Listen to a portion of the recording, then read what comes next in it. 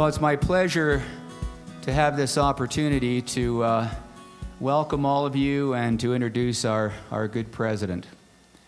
If any of you had any doubts about President Holland's risk taking bent, uh, I think that can be dispel- dispelled by the fact that he continues to ask me to introduce him. Uh, and so uh, obviously he uh, is a risk taker. However, uh, he was quite wise this time. Rather than giving me a week to prepare, uh, he's given me a couple of hours. And so uh, I don't have a script, and I'll have to be a little bit more straightforward on this. But uh, I think it would be fair to say that uh, this annual meeting is perhaps uh, certainly among the most important, if not the most important, university wide meeting where the president has an opportunity to lay out and outline and review the budget for the upcoming year. We're very fortunate to have a president who is committed to an open and transparent and collaborative process. I've been asked from time to time, well, do we really follow through with PBA? I mean, do we really take all of those requests? Uh, are there not things that get approved sort of under the table? And uh, I can tell you that there aren't. That our PBA process is indeed an open and collaborative one, and the President and the Cabinet stick to that and review it on a regular basis.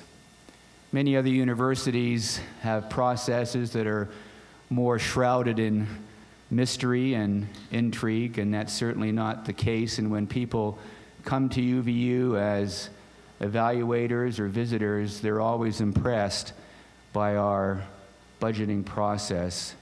I can't think of, a, of another individual than President Holland who I would rather have at the helm of UVU. He has the interests of the institution, he has the sensitivity to things throughout the institution, has a vision for where we are going, has the compassion and desire to consider and reflect upon all parties and uh, uh, uh, objectives. It's not an easy task. We're very pleased to have uh, President Matthew Holland as our president, so please join me in welcoming him this morning.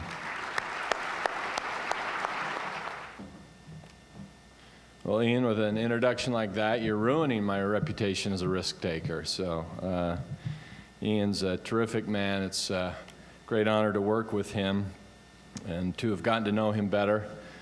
Uh, there is something uh, that I discovered about Ian that uh, he keeps a little plaque on his credenza in his office, I think really highlights the essence of his character. Just a little phrase that says, All I want is a warm bed, a kind word, and unlimited power. and that, that's kind of Ian in a nutshell, I think, for those of you who know him. So uh, uh, it's uh, used to be cliched to say this, but I'm not sure it is anymore. Uh, but he is the true essence of a gentleman and a scholar. It's a, it's a treat to work with him. Well, um, it's, uh, it's great to be with you today. Uh, the, the air is clear, the sun is bright. Uh, I see a good omen in that for us as an institution today. Uh, having come through, admittedly, uh, not the easiest year and not the easiest winter. And so we do need to talk about uh, that and some of the realities that we face. We do face some realities, and there's some images that have come to mind for me, especially as we've gone into this event. I think we came into this event uh, both uh, you know from a culinary perspective and a budgetary perspective, hoping for a feast of something like this in proportions for Hoagies with Holland, and what we'll be delivering may look a little more like this. I'm sorry that's where we are. Um, but uh, I think uh, there is great hope, great optimism in, in what, we're, what we are actually able to do. I think it's been pretty remarkable. And, um, and I think what's even more remarkable is, is where we're headed still as an institution. So it's in that spirit. We just want to talk uh, very openly, candidly about what we're facing, what we've gone through, the assumptions we've made about uh, doing what we've got with what we have, and then where we're headed into the future. So I think it's always important in these moments to take at least a few minutes and celebrate what we have accomplished as an institution. And uh, I, I always love doing this, but it's also, uh, I always worry about doing this because I cannot possibly talk about everything that happens on this campus uh, and, and what we've done as, as an institution. All I can do is talk about a few representative things, some emblematic things of the, the fantastic accomplishments of the people who are here. And as always, I like to start with our, uh, with our students. Uh, our students are why we're here. They're a reason for being. And so I always want us to keep an eye on what they're doing. Their success is really the ultimate measure of our success. And so we've had some tremendous successes this year. Uh, if you uh, consider what uh, our folks in the theater department with their award from the Kennedy Center, uh, this is uh, truly uh, the way Christopher Clark explains it. I think it's very apt. This is like winning the NCAA tournament for theater. Uh, it, it's, it's really hard to overestimate just how significant award this is for uh, our theater department with that national award. Other national awards with our students in poetry. Our students help break the ground for this building that they're paying for that's going to be such a wonderful addition to us. Uh, we're volunteering uh, many, many thousands of hours. Uh, we've been uh, cited uh, with an honor of distinction from a Presidential Commission on Civic Engagement uh, for what we've done, uh, uh, distinguishing ourselves within our region and across the nation. dozens and dozens of student participated research projects presented at NCUR and UCUR. Uh, uh, over 200 presentations across uh, students all across the campus. we've designed mobile apps for different companies and organizations won top awards at the International Media Arts, uh, won the statewide uh, PR competition, participated in a global commerce uh, exchange. Uh, very excited about the student-led production of Cato, part of the uh, presidential reading uh, this year. National regional awards in construction management and same for marketing competitions participated in over 2,300 internships, including some very prominent ones at the United Nations. Uh, we presented at the United Nations Conference on Sustainability, 19 medals at Skills USA, uh, two individual titles at the, at the rodeo, and Best of State honors for our uh, Fire and Rescue Academy. And so, um, how about a round of applause for our fantastic students?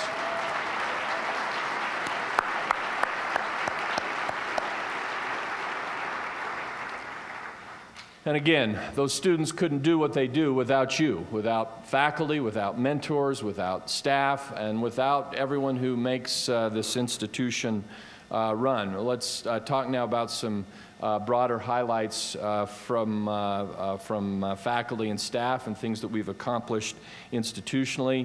we're very proud of this experiment that we did this year, launching a freshman convocation. 3,000 people filling the UCCU Center, these freshmen talking about what a great university experience this was and how excited it left them about their, the thing that they were heading, uh, heading off to do cut the ribbon on our Constitutional Studies Center with uh, prominent Pulitzer uh, Prize winner like uh, David McCullough coming to help us kick that off.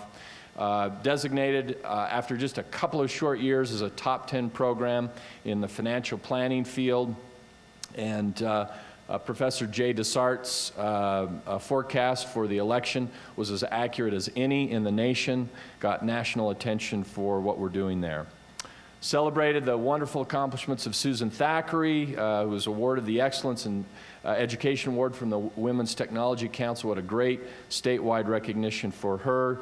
Tim Doyle's work on uh, cancer research, uh, attracting, again, uh, regional and national attention, working with students at Huntsman Cancer and now in American Fork Hospital.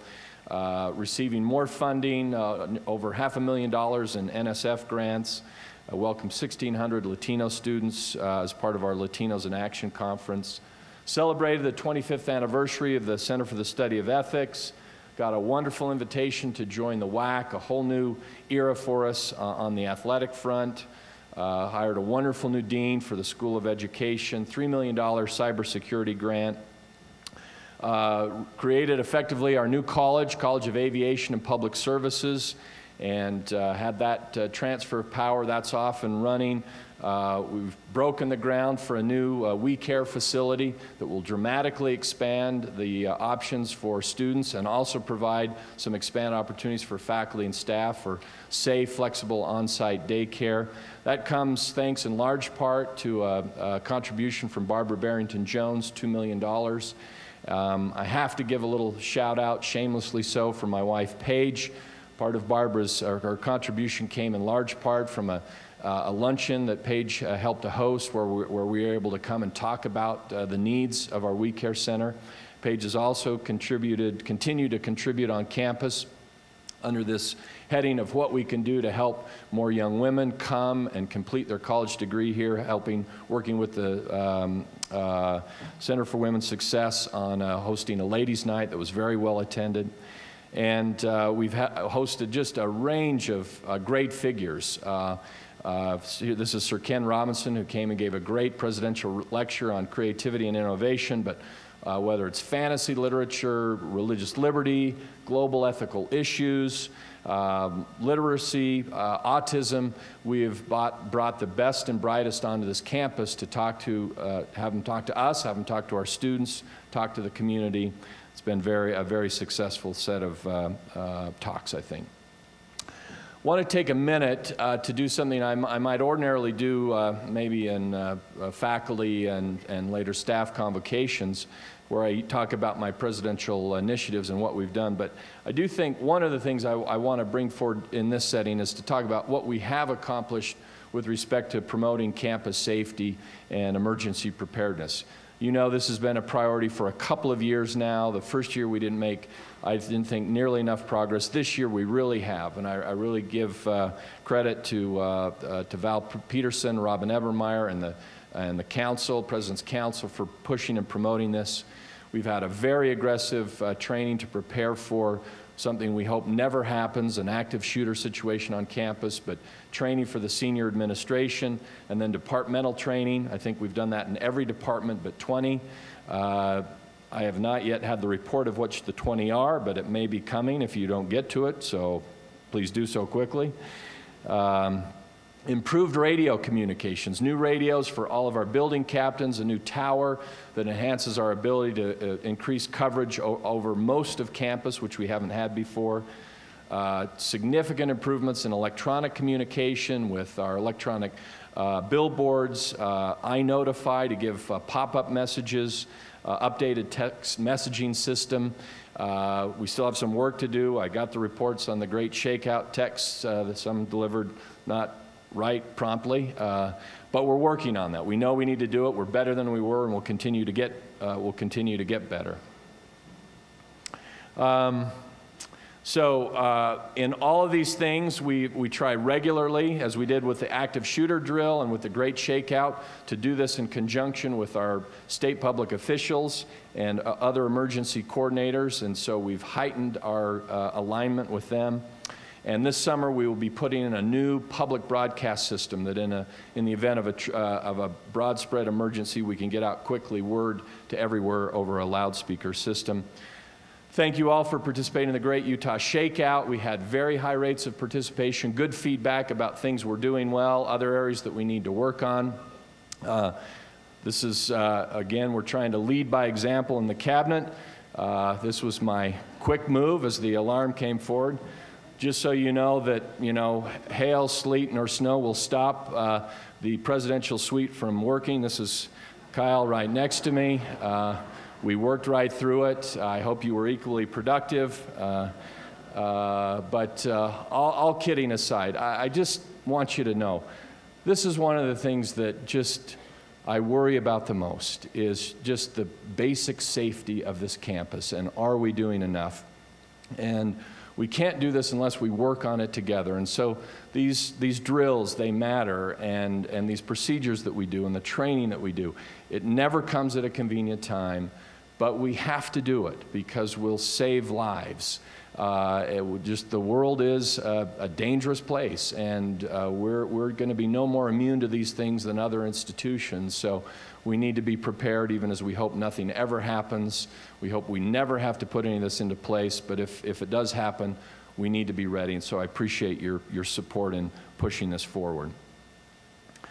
So uh, the uh, other thing uh, that I think we really uh, need to celebrate is the great accomplishment of structured enrollment. Uh, again, it will be sort of years before we know the full impact of this, but this, is, this has had impacts all across campus, faculty and staff, uh, counselors and advisors, people working together to kind of change a whole culture and way of, of bringing students into the system and in a way that really works hard to still make this as an accommodating and welcoming place for all students, whatever their level of preparation, while getting students better prepared and better channeled into for success.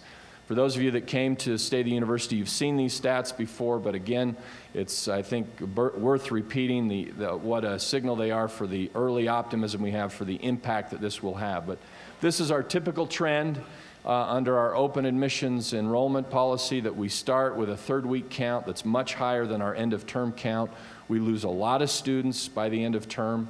And so the question is, well, what's, what's going to happen now with structured enrollment? So this year, here was our third week count. Now, again, the, the drop, if you compare third week to third week, you might say, well, maybe structured enrollment wasn't such a good idea. Did it send too many students away? And we probably did lose some students. We need to work harder, especially to go capture those, some of those non-traditional students that may have felt a little weeded out, which was not our intention. But that actually wasn't the biggest source of the drop. We do have students uh, who left because of the economy, uh, because the economy is picking up, and I'll say more about that in just a minute. And we also had a significant reduction in concurrent enrollment. And so that explains the big drop. Uh, now, the good news in all this is that here's what happened by the end of term.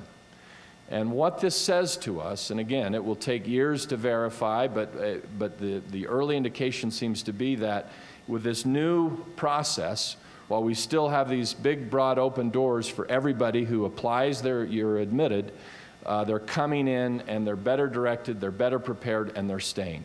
We basically held on to every student who came in at the first of the semester, and we picked up a few more at the second block.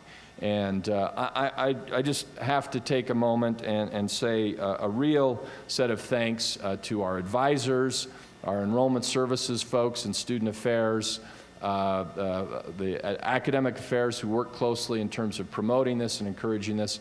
A lot of effort went into this. It wasn't easy to do, but I think the payoff for the students, for the efficiency, for starting us on a more serious note as we begin the year is worthy of a great single round of applause. So.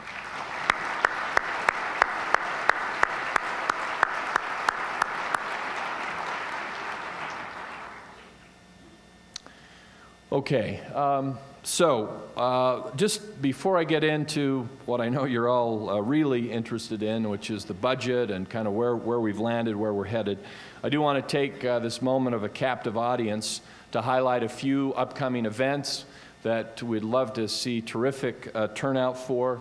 So, um, the first one is uh, another presidential lecture series. Generally, we just do one presidential uh, lecture a semester, and, we, had a, we had a great one um, uh, earlier, uh, just a few days ago, with Jim McGregor, who came and spoke about doing business with China as part of that conference. It was very interesting.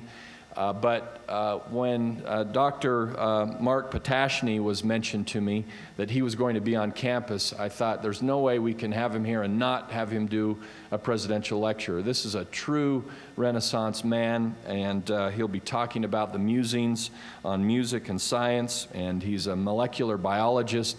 Uh, who is of true international stature and fame for some of the breakthroughs he's, he's made in that field and is uh, virtually an equally talented violinist. And we'll be talking about this. So this should be a feast uh, for uh, in the sciences and in the arts, and encourage you to uh, make note and try to attend that on Friday night. Would love to have a wonderful turnout for that, and it promises to be a very rewarding evening. Uh, I did want to uh, give you uh, the preview about uh, the freshman reading challenge that I'm doing for this year. Uh, two, uh, as is my habit, there are two works that I'm challenging the students to read. The first one is actually kind of a, a little collection. It's the Apology of Socrates and the Crito. These are two relatively short um, dialogues, if you will, and it's about Socrates' trial in Athens. Uh, that's actually a lot more interesting than it may sound to you. Uh, this is really the beginning, in many respects, of the Western intellectual tradition.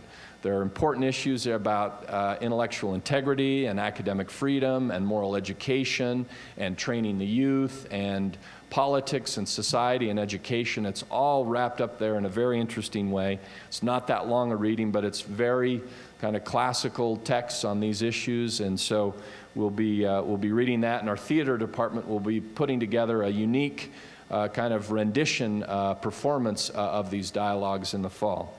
The other reading is My Dream of Stars and um, uh, by Anousheh Ansari, and a, a, terrific story about uh, this woman, an Iranian, the first to go up into space.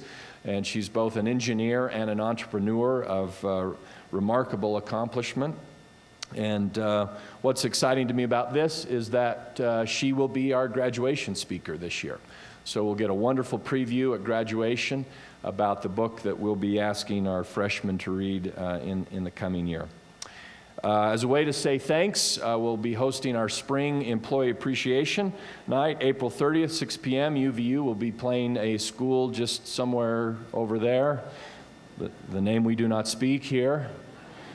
Uh, so uh, please come, cheer. Uh, we'd, uh, we, we look forward to that. And uh, again, free, free admission on the tickets and uh, up to five free food vouchers. It should be, uh, should be a good night.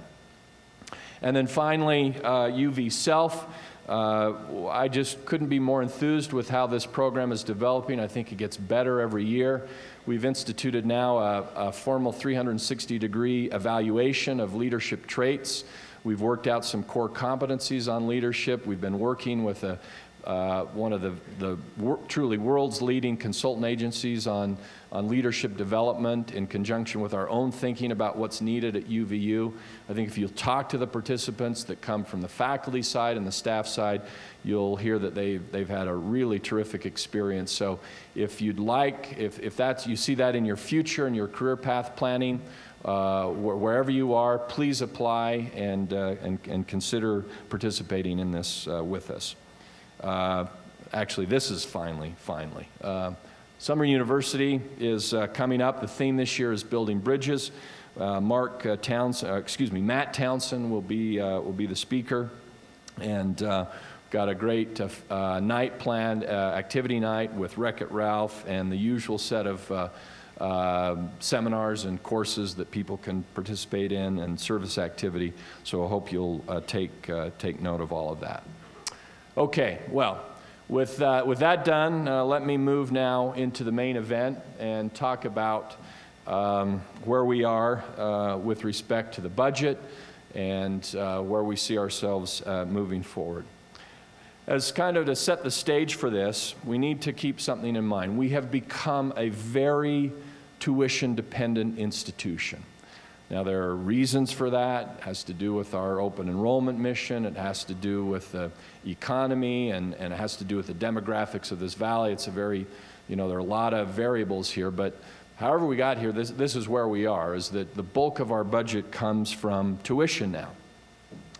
What that means is that we're obviously, from a budgetary uh, perspective, very sensitive to changes in enrollment and we are facing some enrollment challenges right now. So in 2011, we hit kind of a peak, and that was uh, good in the sense that it was bringing in those students and that revenue, and we were growing and hiring and expanding, and it was all uh, very exciting.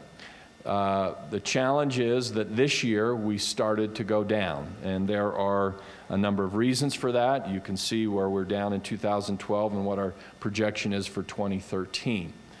So um, this is worth taking a minute. This is going to get a little bit technical, but I just want, uh, we all need to know what we're going through and what we're wrestling with uh, week by week, uh, month by month, as we consider some of these issues. So, uh, the first uh, part here is um, the, the first thing affecting trends is not the LDS mission change. I'll get to that in a minute. That's a big issue, but it's, it's actually not the, the first thing. Even before the LDS mission change, uh, age change, we were facing a decline in enrollment. Um, close to a 3% decline in enrollment in the fall. That was primarily due to probably some of the changes we made with structured enrollment, but, but the bigger share of that being changes due to the economy the, the, all, the signals are the, from the informal input of the business leaders to various data that's available from our state uh, economic uh, observers is that the economy is picking up, students are, are going back into the workforce. We have some data on that. Uh, at, and just in terms of the fall to, to spring uh, rate, we had 23% uh, of fall non, non-returning students indicated that they, they left school because of work opportunities. The graph at the bottom shows you the kind of uh, counter-cyclical operation that works when the economy is up, enrollment tends to go down. When the economy tends to go down, enrollment tends to go up. And so we're in one of those, you know, kind of loops right now where the economy, which has been uh, stalled for so, so long now seems to be picking up in the state at a decent pace, and that's providing more opportunities for our students. They're going, they're going back to work. So, um, now, let me talk about the missionary um, uh, issue because on top of the economic uh, issue, uh, we've got uh, the announcement of the LDS Church in October that uh, LDS young men could serve a mission at 18 and LDS young women could serve a mission at 19 if they uh, so desired. So, what, what do we know? What can we say about this? Roughly 80% of our students uh, self identify as, um, as belonging to, to the LDS Church. And so, this is, so an announcement like this is undoubtedly going to have a very large impact uh, on us. We also know that according to historical patterns, that roughly 53% uh, on average of 18-year-old uh, uh, of the 18-year-old uh, young men who enter UVU will eventually serve an LDS mission. 14% of uh, 18 to 19-year-old females entering UVU will eventually serve an LDS mission. That's the historical data. So, what I'm just going to take you through now is a very simplified version of the assumptions that we are making for budget projections. We feel we have to do this. It would be irresponsible not to do this. So, um, as we look uh, to uh, fall 2013 and the estimates that we're facing, we figure 50% uh, of, um, of the 18 year olds entering uh, or who would have entered otherwise will now not enter and go on missions. Now that's down a little bit from the 53, in part because we're seeing our numbers drop a little bit in terms of those who self-identify as LDS. So we think that's a, a fairly reasonable and safe assumption. It's close to the average, down a little bit given what we see happening with the larger population. On the other hand, with the young women, uh, we're seeing already a dramatic change in student patterns and enrollment behaviors. Uh, and data that has been provided to us by the LDS Church that suggests that uh, LDS uh, uh, participation of young women in that age group uh, is, is climbing anywhere from three to four times its, its uh, historic levels. And so we have made an assumption of that climbing from 14 to 40 percent. Now, do we know exactly that's how it's going to play out? No. We're making the best assumption we can. And again, I've given you a simplified version. There have, there have been, you know, reams of analysis done on this uh, with data from the, from the commissioner's office, from the LDS church, from our own data. We've done it for fall, we've done it for spring. We're trying to consider all the assumptions that we think should be brought to bear on this. Uh, but at the end of the day, we're, we're making our best educated guess as to where this will go.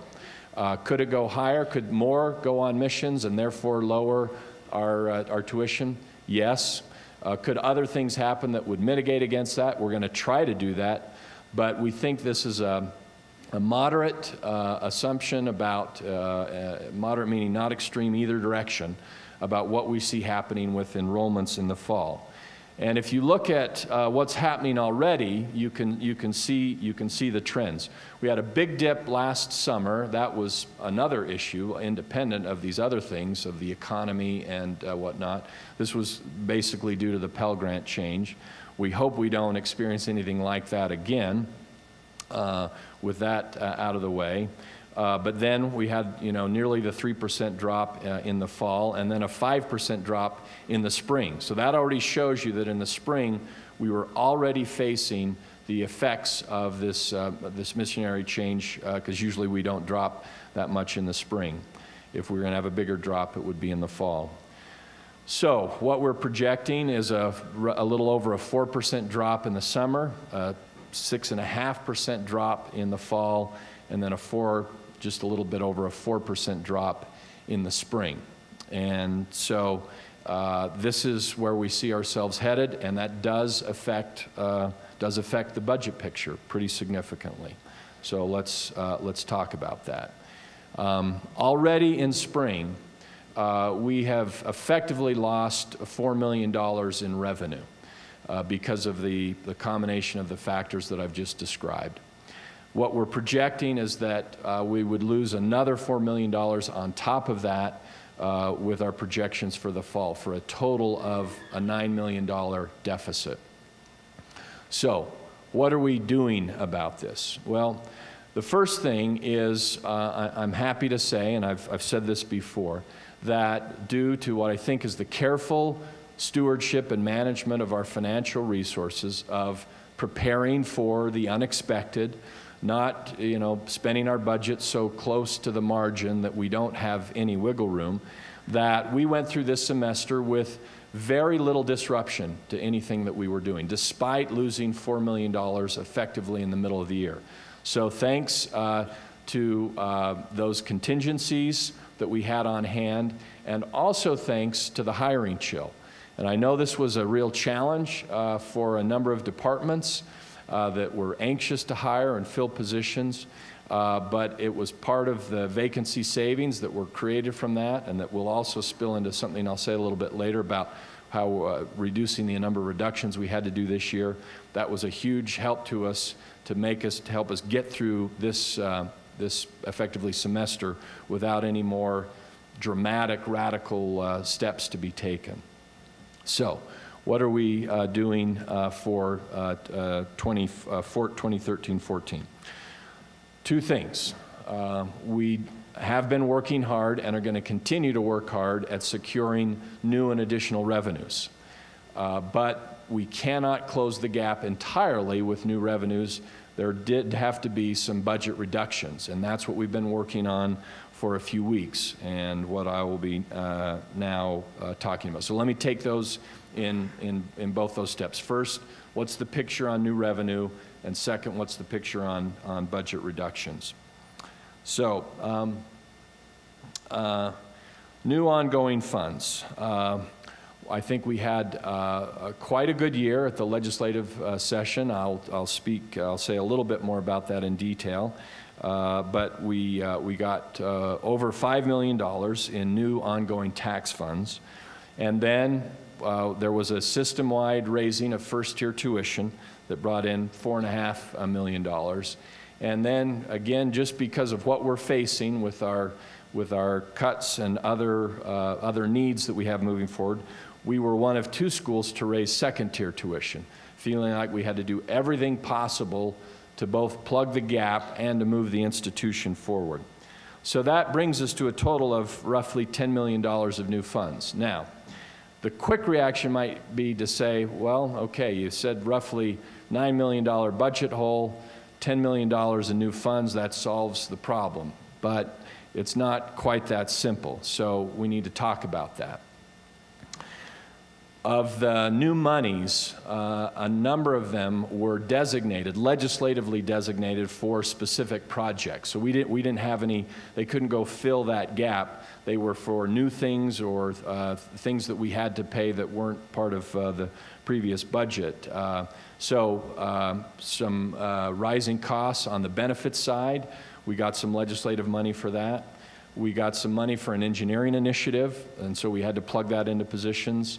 And we've got some money for mission-based initiatives. And I'll go through in just a minute what, what each of those are. But just generically saying, there was at least $3 million of that $10 million that was legislatively directed about how we needed to spend it.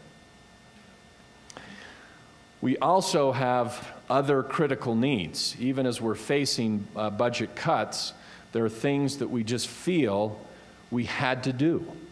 Even if we were going to cut in other areas, there were other areas not only could we not cut, but we had to invest in. And the number one concern for me and the, and the cabinet and the council, uh, and I'm hoping, thinking for you, is compensation. And so uh, we made a decision that even in this very tough time, that you all have been working so hard and so long without any adjustment or with basically the 1% COLA from last year, that we had to do something. We couldn't not do anything. Uh, we know that your costs are climbing, uh, whether it's health care or just day-to-day -day expenses, and so uh, we felt that we had to do something. So uh, there was uh, some encouragement from the legislature to do a 1% COLA, uh, even though they didn't give us exactly give us the money for that. I'll explain that in a minute. Uh, so we felt we had to find a way to do that. And we also have obligations on rank and tenure. Those are commitments we make as an institution, as part of an academic community. We have to do that. We also see that there were, some, there were developing some very serious equity issues, that some of you and your positions are getting really out of whack with what the market trends are and what other opportunities are. We've had to fill some holes with that. And we had to do our part to close the gap, at least more of the gap, on medical and dental.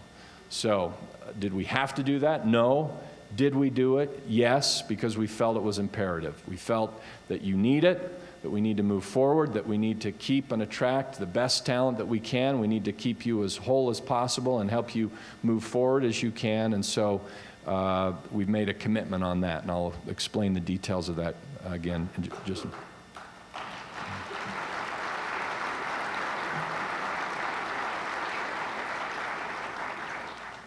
And then there are just a few essential uh, PBA requests. Uh, even though we have fewer students, there are some things about our infrastructure that don't change and their, their costs increase that we just are obligated to, to do. There's a, just a handful, just not very many, but a few key faculty and staff positions that we have to do for a variety of reasons. And then we have made investments in student recruitment and retention because that's part of the way we get out of this is if we can attract more students and hold on to them, then we can, uh, we can help uh, soften this uh, as we move forward. So we're taking a bit of a risk there, investing in some money now that we think will, return, will create a return on investment uh, more, than, uh, more than what we paid. So uh, once you get through that, that you know, that, we, we still, having done that, we still tried to save some money to fill that hole. Uh, so there's a balancing act here do as much as we could possibly do on the compensation front, do the absolute essential things we had to do on infrastructure and personnel, and then put the rest into the budget hole so that we would minimize the reductions we would have to make across the board. So, let me try to paint this picture now about where, where everything's going. Back to the budget shortfall, $9.3 million shortfall. So the first thing we do is plug it with the new monies that we got, again, from I think a, an effective uh, legislative session uh, that allowed to give us some flexibility and some tuition monies. And so that, that, takes, a, that takes a bite out of it.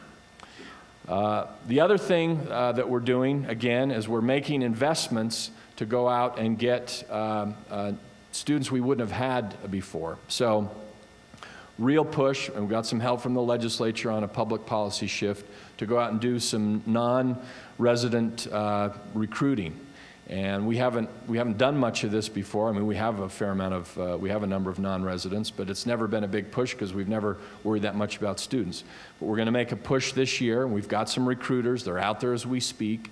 And uh, we've got some deals uh, structured around, uh, around the world, really, to try to uh, make $630,000. So that would be net, okay? So whatever our investments were in these positions, we would recoup that plus, you know, over a half million dollars of new revenue uh, on new resident.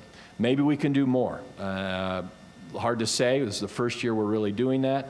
Maybe next year we can do even more than that, but we're, we're moving aggressively on that. So that should take care of a little bit of the, uh, of the piece of the pie.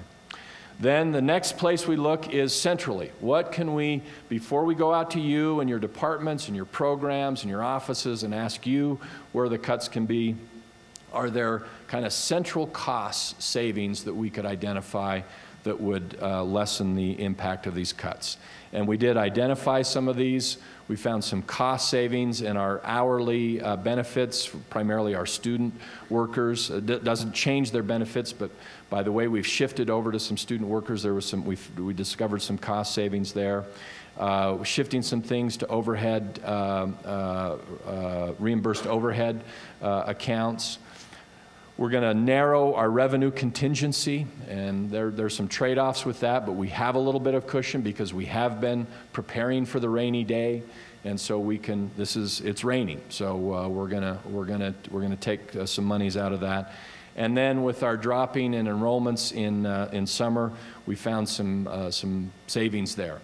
So uh, what, the, what that left uh, remaining was the budget cuts for the divisions and the reduction, reductions across uh, uh, the divisions.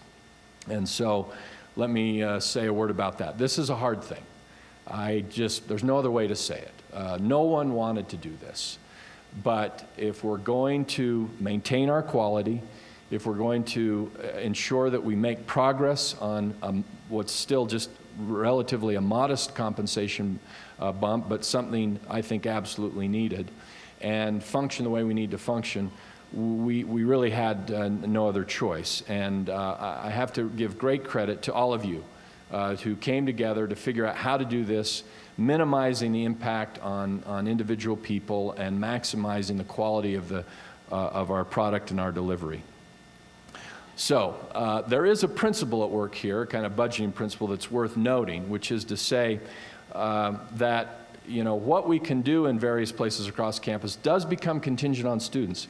If our students are up, uh, then uh, our tuition revenues are up, our operating budget's up, and we, we can uh, demand for sections and services up, and we can channel those monies into, those, into that demand and accommodate. And that's what we've been doing for so many years. But the inverse is also true. When students are down, tuition's down, operating budget's down, but so is demand for those services. And so one of the natural uh, consequences of that, we have to reduce some of those services and programs. Now, one of the challenges of that, sometimes that happens unevenly.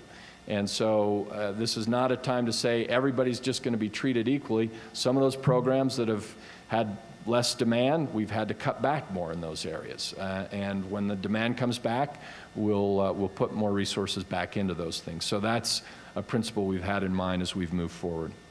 So what is the impact of these reductions? Well, obviously, as I've just said, fewer sections and services, but as much as possible and aligned with the change in student demand.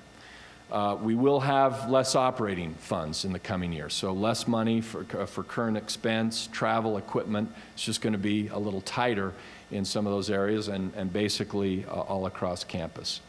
Less central flexibility. Again, it's raining. We've had to use some of those rainy day funds.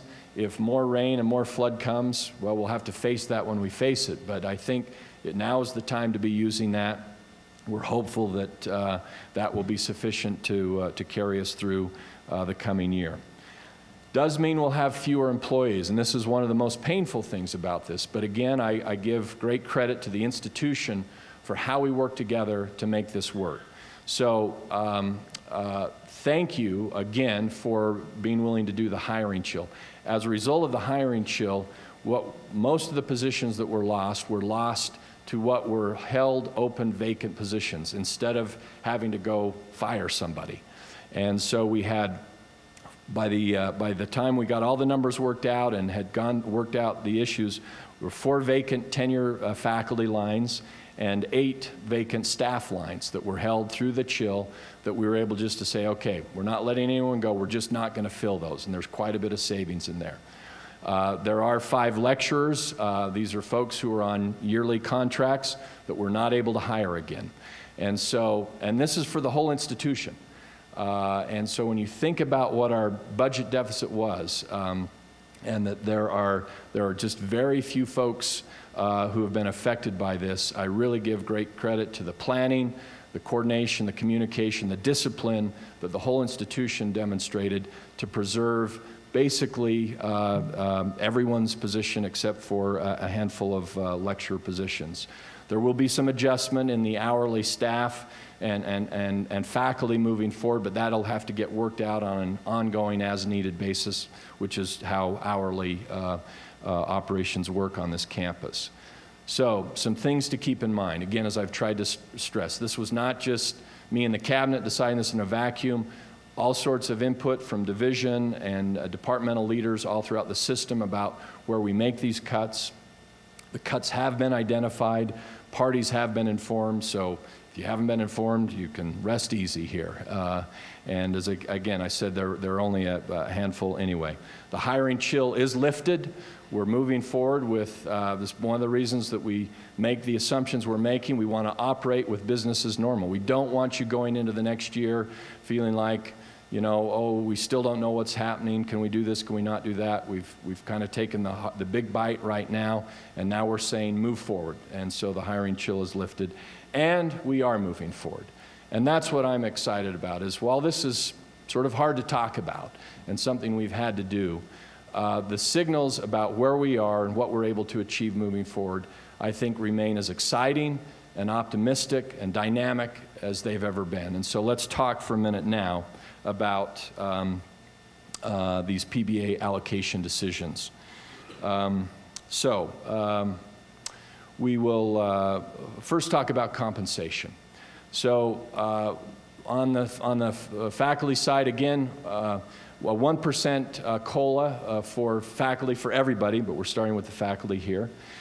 in addition to that, um, we have 0.3% um, will be devoted so that we can do rank and tenure advancements and then another 1% in targeted equity and retention to go address those particular positions that are most um, out of sync with uh, market benchmarks. So overall, uh, not individually, but overall to the faculty, it, it equates to a 2.3% uh, bump in compensation. On the staff side, we have just made the decision to take the 1% COLA and move it to a 2% COLA. Uh, we do that after poring over the data and looking at the concerns that have been raised by people to see that uh, we were just, the, the staff salaries were more out of sync with market rates than faculty salaries were in general. And so we felt we had to do more across the board. And so that's the 2% COLA for all staff, plus an additional 0.8 to go take care of additional equity issues, and then a, a, another 0.3 for retention issues for our, our staff who are increasingly getting offers to go elsewhere.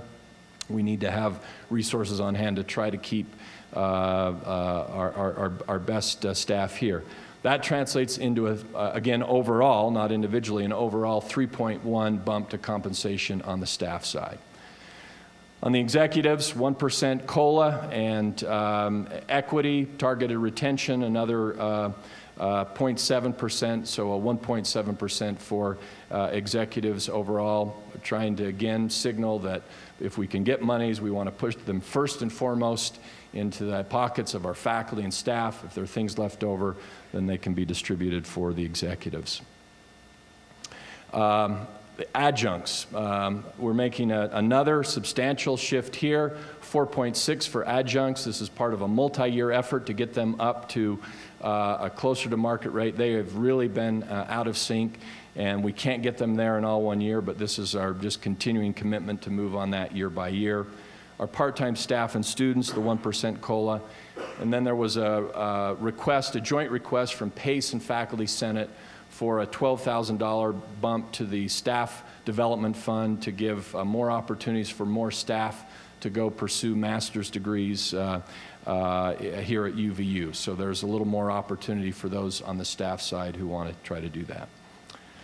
So um, on the benefits side, I don't want to get too, into the details too much here, except to say that the legislature gave us some, uh, a little bit, or gave us 9% towards our 15% increase in costs. On the UVU employer side, we've uh, rounded that out by uh, another 6%. That allows us to maintain the 90-10 premium split. We funded the dental uh, premium increase on the employer side, and the legislature took care of uh, the state retirement increase. So, total new funds devoted to compensation, $6 million. And that, again, is even in a tough time with everything else that we've been facing, a signal of what we thought we need to do to start to make progress on this really critical issue for all of you. Um, engineering initiative. Uh, this was uh, the legislatively uh, uh, uh, uh designated funding. So um, $400,000 to give us some scholarships and some faculty positions. Um, on the mission-based initiatives, again, this came from the legislature, legislatively appointed, $180,000 for a mandatory orientation program, help with our recruiting efforts, some completion uh, programs. Uh, we're going to start giving more two-year degrees to students. They've earned it. They ought to have that. Helps with our 66% goal. Uh, we're trying to get some more aid into the, into the summer uh, session and some help on the economic development front. And so uh, once again, uh, we're, we're, happy to get those monies from the legislature. We didn't have any flexibility to do other things with them, so we're going to work and put those into effect. Student recruitment and, attention, and retention. Um, we've, again, dramatically expanding our, our recruitment here, our deferred admissions program. You've seen our publicity about that, reaching out to non-traditional students, out-of-state students. Uh, and, and by the way, let me add something here. At the back, we're going to have ambassador packets for all of you. I, I, want to enlist every one of you in this effort to recruit and retain students uh, it, will, it will help us. Uh, it will help the students. First and foremost, they should be here anyway. But if we can get them and keep them, it will help with these budget challenges. And so these packets have been prepared to uh, go out and let you be recruiters. And if you've got, you know, people in your neighborhood, uh, whether they're young or old or in between, who can be convinced to come back to school, if every one of you did that, it would make a significant help to us in the situation that we're facing right now. Uh, we've got some uh, broader marketing uh, efforts to enhance that overall recruiting effort and some key student retention initiatives. So we've put about uh, $300,000 uh, in that, believing that that will pay for itself and that the return will come back to us with new students from areas where we typically haven't had, uh, haven't had those students. Uh, now, uh, beyond that, uh, there are just a, a handful of uh, some key uh, faculty and staff positions of new appropriated funds. Uh, like I say, there's just really three on the faculty side. There's an autism position, a graphic design, professional sales. Each of these are tied to some larger uh, kind of circumstance. They're either tied to some key uh, donor arrangement or uh, an unusual uh, push in growth in a particular area or an obligation the university had incurred. And these are areas that we need to see move forward in any case, so we have, uh, we have invested in a few areas there. We've got a vital need in our newly created uh, College of Aviation Public Services for an Assistant Dean of Finance and a, and a university-wide programmer. So this is out of the multitude of requests that were made. We boiled it down to kind of these key uh, things. Now, there are some additional hires we'll make on the non-appropriated side, so I'm trying to be very careful here. And by the way, these, the, these slides will be available to you if you want to look at them in more detail. But uh, on the non-appropriated side, meaning there's soft monies, uh, institution, you know, revenue generating opportunities here. So English as a second language will be allowed to hire another faculty member with the revenues they're generating. And uh, aviation sciences has uh, some soft monies that they want to put into those three positions, and those have all been approved. Uh, infrastructure. Again, back to uh, a new appropriated things that we have to do. We don't have a lot of choice over PCI compliance. We traffic in a lot of personal information. It has to be protected. There's some increasing costs there we're obligated to, and increasing costs on software licenses and other uh, database uh, needs that uh, we'll put into the tune of uh, $400,000 overall. Uh, then, then new, again, stress here, non-appropriated uh, base funds. So again, you may see us doing some of these things. You may say, how are we doing that in the age of these budget cuts? But these are things that are tied to internal funds that are generated for specific use that aren't fungible. So we've got some needs. We need a new stoplight on College Drive. The Canyon Park Culinary Building uh, needs a new boiler, uh, dining services kitchens, uh, long overdue for a kitchen remodel. All of that's coming from plant funds, not these new monies that we're talking about. Student Life and Wellness Building has some O&M needs and uh, programming that will come out of uh, uh, student fees and, and related revenue there. We Care Center, other revenue, basically the, the, the payments that will be made by those who use the We Care services We'll, be will, will fund the O&M for that. That's all uh, is approved. And then athletics. Uh, I know there's been there was some issue about in the hiring freeze. How did we hire a soccer coach?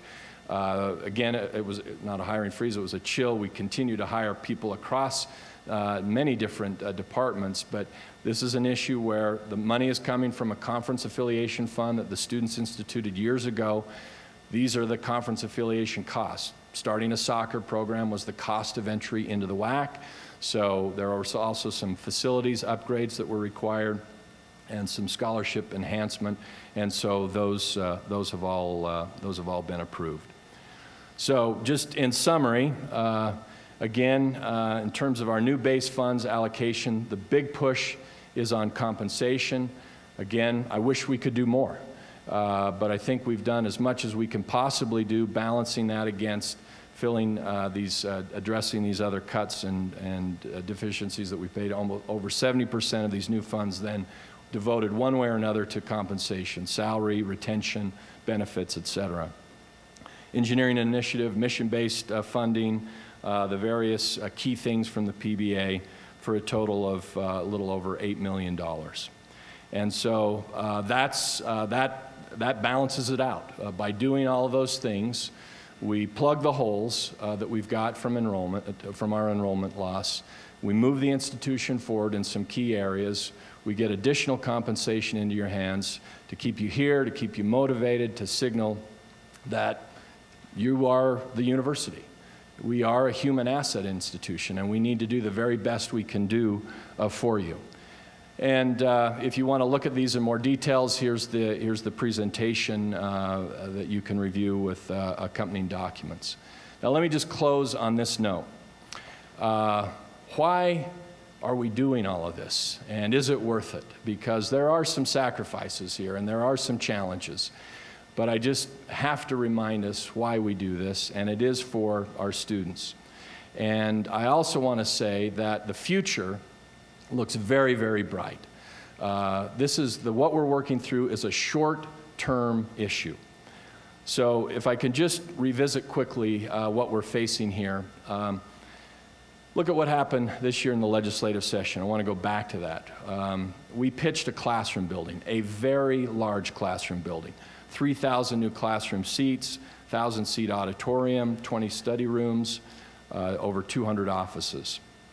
At one point, in the legislative session, this is where we found ourselves on the priority list coming out of the recommending legislative uh, body, 14th. You can see we're down below a lot of very meaningful, needed projects around the state. You can also see, if you can read that, that we're also the biggest, at least of the first 14. I think it was part of the reason we, we, we were kind of pushed down. It's like if we help them, we can't do these other things. And uh, I, don't, I don't bring this up to say, you know, look, aren't we great? We made, we made this happen. I do want to pay tribute to our team, Val Peterson, Cam Martin, Linda Makin, myself. We worked very hard on this to get our story out. But at the end of the day, it was the legislators that made the decision. And they decided to fund that building and only three or four other things from that list. And we're really the only building on the higher ed list. There was a bunch of higher ed requests there, and UVU got funded for that. It, came in a year, and I got a little criticized for this. How, how can you go up to the Hill and ask for a huge classroom building when you're going to be down all those students in the fall? It's because I know those students are coming back. That's the, that's the power of this, unlike other cuts. We, uh, other time when you get cuts, you don't know if the money's coming back. We're virtually certain these students are going to come back. They're probably going to be better prepared, a little more serious, a little more likely to retain. And so we have to build that building now so that we're ready when those, when those students come back. And so uh, we're very pleased that we got 54 million, all but $1 million of our request, and then we got the additional $1 million uh, for O&M. That to me is a signal that the legislature sees what I'm saying is true, that growth is still coming to UVU. And while we've got this little bit of downturn, we need to be prepared for what's ahead, which is more growth, more dynamism, more development uh, of our programs. Let's talk about the funding side for just a minute. Um, here's what we requested. We requested to be treated as employees on a COLA. That was the one thing we didn't get. Uh, other state employees got 1%. But look at what we did get on our equity and distinctive mission. We asked for $8 million in each category. We got nine. And one of the things we were effectively told was, well, you got a little more than you asked, so if you can use that with other things, then try to do your 1% uh, tuition. So I think there was sensitivity to that. More importantly, and most importantly of all, is to look at what happened on the um, distinctive mission and equity side. On the distinctive mission side, you can see that out of $9 million uh, shared across eight institutions, we got a pretty good share of that, uh, of $1 million. On the equity side, uh, we got, well, we got this. 29% of those equity monies went to UVU. Now, uh, I know probably to us it just seems, well, that's, that's only fair, but in a political public situation, you can, I hope you can imagine how difficult it is to sell that to your colleagues, to other legislators, that we ought to get that much more money than other people. And yet we did it. And so, again, I take that not to toot our own horn so much as to say that look at the trend. We got a little bit of equity money last year, a million dollars. We got over $2 million this year. And coming out of the session, not only did we get this, but we started to get commitments from people to say, we know you're not finished we know we need to do more on equity. So even as we face the, down, the, the downturn in the fall, I'm optimistic, I'm hopeful that we will go and be successful again in arguing that there's still room to be, uh, still progress that needs to be made on the equity front, and that we will do effectively what we did again, which has been a pretty historic thing, which is get a lot of new money from the legislature, even as we've had fewer students. And so, in that sense, I think uh, the future looks very bright. And then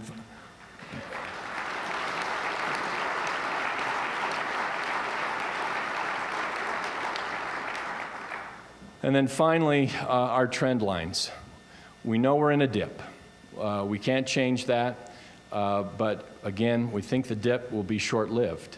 And maybe our endpoint now looks more like 43,000 than 46,000, but we're still headed to over 40,000 students for this institution all of the long term factors are still in play.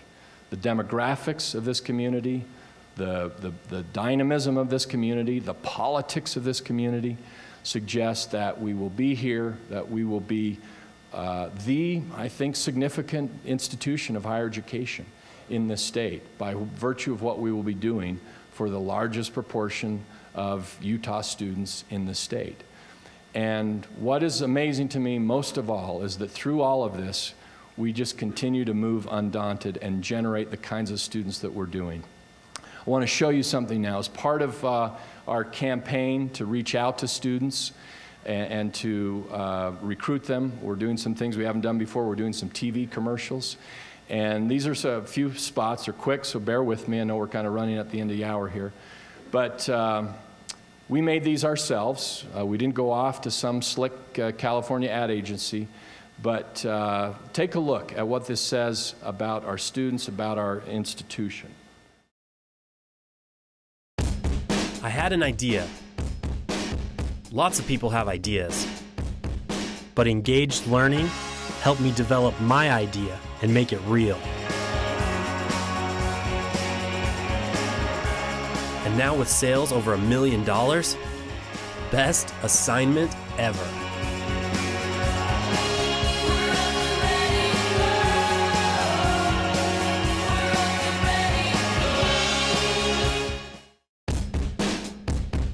I hate math. Can't count how many times I've heard people say that. And as a math teacher, I take it personally. So, while working on my master's at UVU, I developed ways to help kids not hate math. Does engaged learning make a difference? You do the math.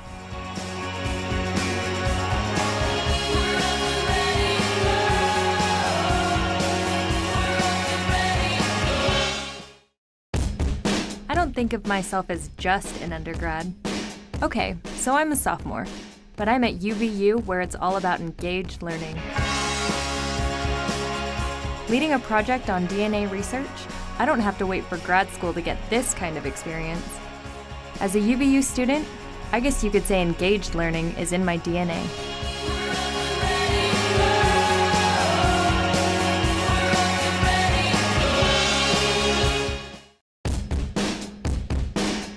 People talk about life after college, you know, entering the real world. But this is engaged learning. I'm not just reading about it or watching someone else do it.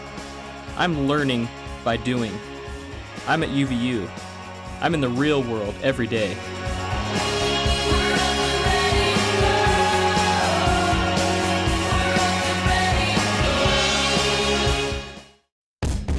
They say the devil is in the details. And in here, there are a lot of details flavor, color, texture, temperature, presentation. It all has to be flawless. Pressure? Maybe. But with engaged learning, I get a lot of practice. And I'll bet your homework never tasted this good.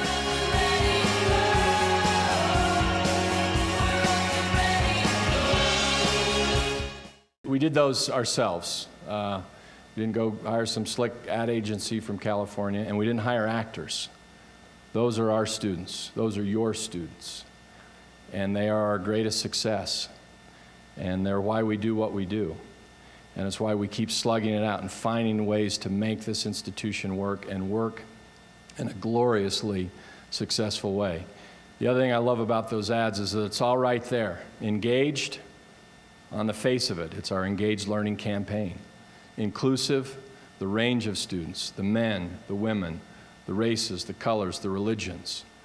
The seriousness, undergraduate research, excellence in all that we do across the disciplines, all leading those students to great student success. And it's, it's wonderful. I, I, I, keep, I just thrill every time I see those. But even more thrilling is the individual interaction you get. I've just been saying the last couple of days that there's, there's hardly a day that doesn't go by that I'm not inspired, individually inspired by an individual student and their story. I told, uh, I've already told a couple of times an event that happened on Friday. Uh, in, the, in the cabinet, we're trying to again lead by example with our commitment to students. We have a presidential internship program. We each hire an intern to work with us through the year. We give them real assignments. They go to our most important meetings. They help us on a week to week basis. And we had this woman come in to interview. Janeth was her name. And uh, she talked uh, with great eloquence and poise and did a, a, wonderful job.